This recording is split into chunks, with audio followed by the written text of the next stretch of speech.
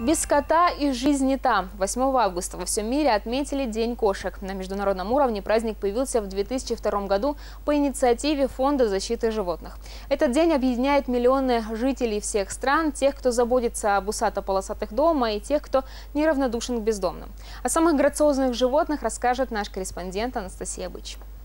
Кошка – одно из самых древних и загадочных животных в мире. Любопытные, грациозные, изящные и независимые, редко подчиняются и выполняют команды человека. Но они способны реагировать на перемены настроения, развеселить и даже вылечить своего хозяина.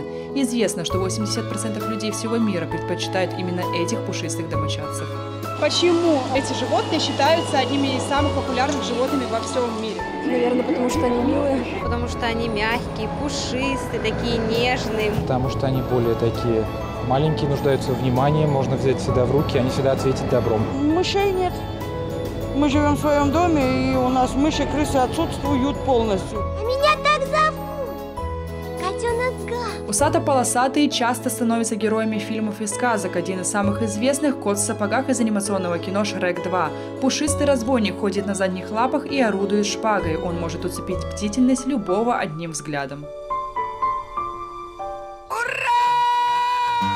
Еще один Кот Матроскин, известный персонаж произведений детского писателя Эдуарда Успенского. Хозяйственный, рассудительный и экономный кот еще и шьет и играет на гитаре. А я все чаще замечаю, что меня как будто кто-то подеменил.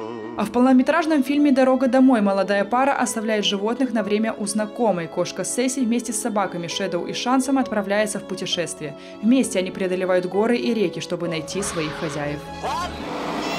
И таких животных полно и в реальной жизни. Известно, что 10% бездомные кошки, которых разыскивают хозяева. Остальные 90% брошенные или уличные с рождения. Эта черно-белая кошка оказалась на улице по неизвестным причинам, живет возле магазинов и почти не подпускает к себе людей.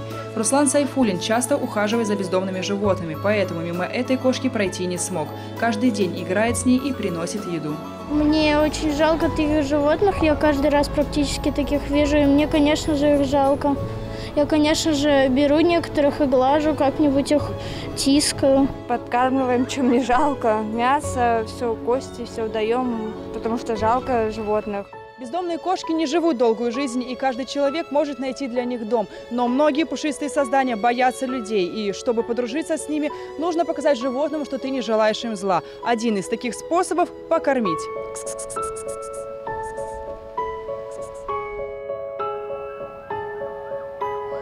После такого знакомства это животное точно станет вам доверять. Анастасия Быч, Алексей Исаев, Алексей Кузьмин и Аркадий Коваленко, телеканал «Орленок ТВ». Thank you.